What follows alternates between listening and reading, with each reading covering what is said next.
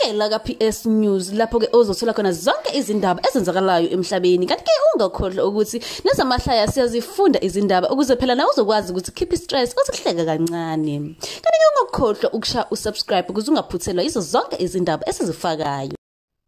Ngiphinde nginamukele kwezanamuhla lo nihleli naye uPro Shamase.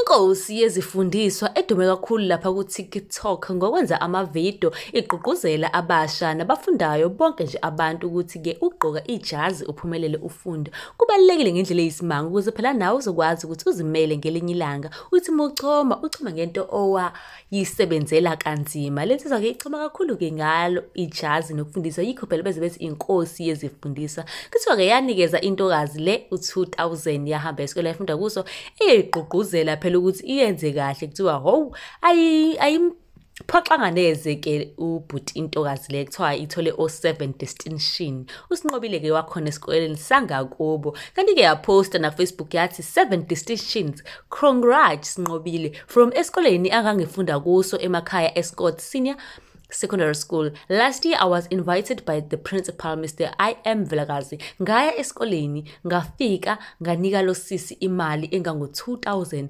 Ngimkhuthaza ngendlela ayephase kahle ngayo. Phakathi nonyaka, all the best in your future.